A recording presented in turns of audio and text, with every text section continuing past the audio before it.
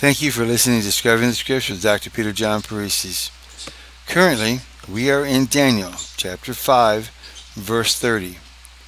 Reading from the King James Bible first, quote,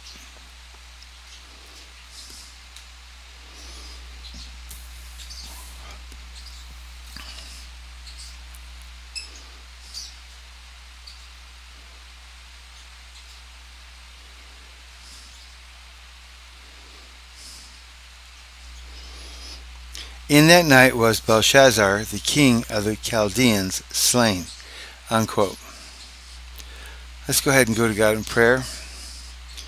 Father, just ask in prayer that you would please forgive me for any and all sins that I have committed, knowingly and unknowingly. I'd also ask that you'd please let me know of any prayer hindrances that are in the way so I can take care of them immediately. In Jesus' name I pray.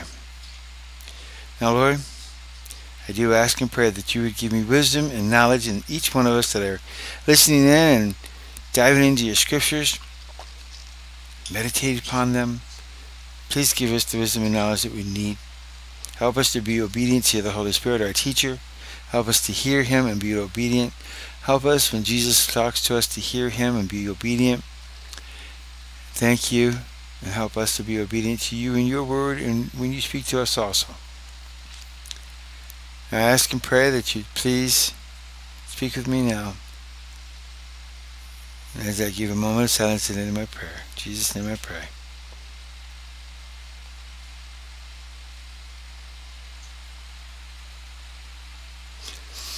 Yeah. Thank you.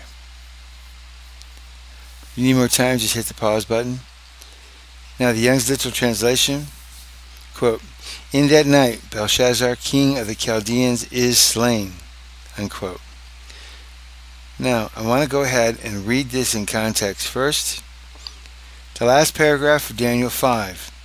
Reading from the King James Bible, quote, In that night was Belshazzar, the king of the Chaldeans, slain. And Darius the Median took the kingdom, being about threescore and two years old. Unquote. Now, I want to go ahead and read this to you in the English Standard Version. A little bit better to understand. Quote, That very night Belshazzar the Chaldean king was killed, and Darius the Mede, M-E-D-E, received the kingdom, being about 62 years old, unquote. Now let's go ahead and parse out. All right, parsing this verse out. In that night was Belshazzar, the king of the Chaldeans, slain. Now this is in Aramaic, and the only thing that needs to be parsed is the slain, and that is in a PL stem, casually written, and the aspect is passive participle. So none of these phrases here in this verse have anything to do with the last days or cross-referencing over to any other verses at all. So, let's go ahead and take a look at what's going on here. We do know that in some of the commentaries, some of the more modern commentaries, written in the 1800s and 1900s, towards the end of the 1800s, had influence of some very critical um, started out in German, Germany, um, of the scriptures and whether they were actually true or not. And what we see is that here the king is dead. He's been killed. Now, what we find out is that the Masoretic text, text here is shorter, but we also have the LXX version which says, And the interpretation came upon Belshazzar the king, and the kingdom was taken from the Chaldeans and given to the Medes and the Persians. Okay? That's great. But does it matter? He's dead. The kingdom is gone. But here's the cool thing is that we find out that the king never went and proclaimed Daniel as being the third ruler of the kingdom. He is around 90 years old. It is towards the 70 year reign of this whole event that the Jews have been taken away from their homeland, and Daniel has figured this out because he has been watching what's happening. He's been reading the law. He's been studying. He knows what's going on. He probably went home and went to bed before the king was slain.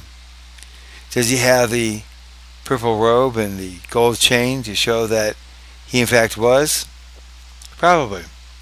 So that those who were critical, he would have it to show. Let's go ahead and read John Gill's commentary on this.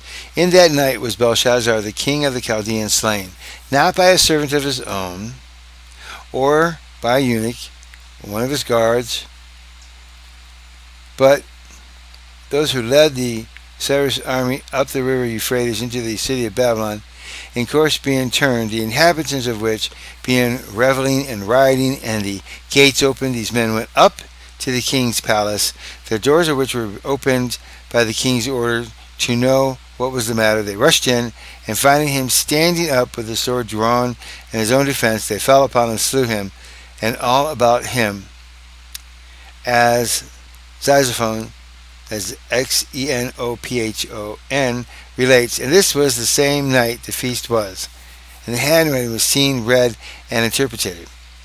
This was after a reign of 70 years. And the reign that Babylon had taken, and it reigned about 17 years, was Belshazzar. And so many years were assigned to him. Some think it was three years, but it doesn't matter. He reigned. He was slain. That's what's going on here. What does matter is that Daniel knew this from Nebuchadnezzar.